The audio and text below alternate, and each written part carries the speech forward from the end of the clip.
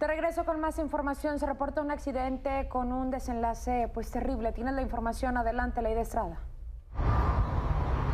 Hola, ¿qué tal Pamela? Muy buenas tardes, me da gusto saludarte y vaya pues fatal desenlace que dejó este accidente vial ocurrido en el municipio de China, Nuevo León, donde dos mujeres murieron y una más resultó lesionada luego de que se registrara un choque de manera frontal justo en una carretera del municipio de China. Este accidente que ocurre la tarde de este eh, día pues sin duda eh, provoca la movilización de los cuerpos de rescate y además también personal de la Agencia Estatal de Investigaciones, personal de servicios periciales, acudieron hasta este sitio para poder realizar las maniobras correspondientes. Este accidente ocurrió en la carretera Camino Viejo a la Ceja, en donde un vehículo Aveo se impactó en contra de un camión, el cual transportaba aguas residuales y en este punto es donde se da el choque frontal en el que resulta lesionada una mujer de 66 años, quien se trasladó a un hospital de la localidad